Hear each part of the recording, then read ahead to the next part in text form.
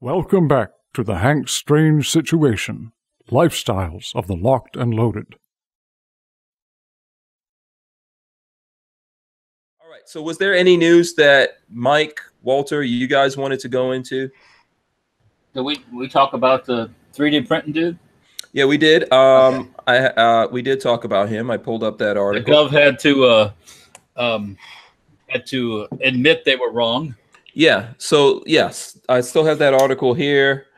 Um, the Justice Department has reached a settlement with the Second Amendment Foundation and Defense Distributed, um, a collective that organizes, promotes, and distributes technologies to help home gun makers. Under the agreement, which resolved a suit filed by the two groups in 2015, Americans may access, discuss, use, reproduce, or otherwise benefit from the technical data that the government had previously ordered Defense Distributed to cease distributing.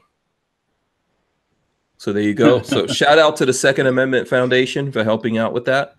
I'm a member of, by the way. Yes. Okay. Thank you for that, Walter. That's that's one of the groups that that you should support.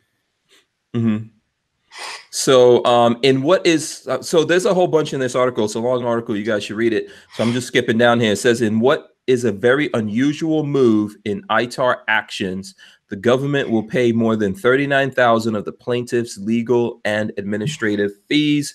Cody Wilson, chieftain of Defense Distributed, tells Wired that this is only about ten percent of what they've Yeah. spent on this. Yeah. And and you know this guy's fighting for us.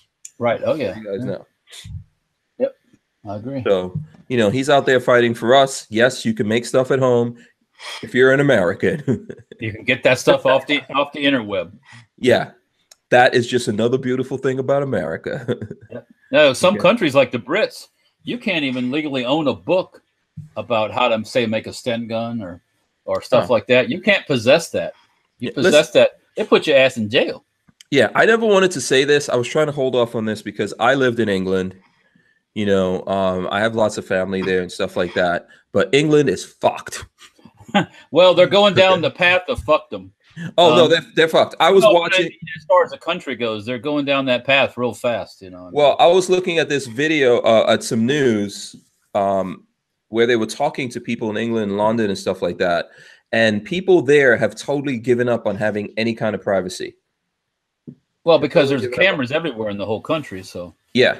And now there's rules over there that they can do all kinds of things, go through your messages and do all kinds of stuff.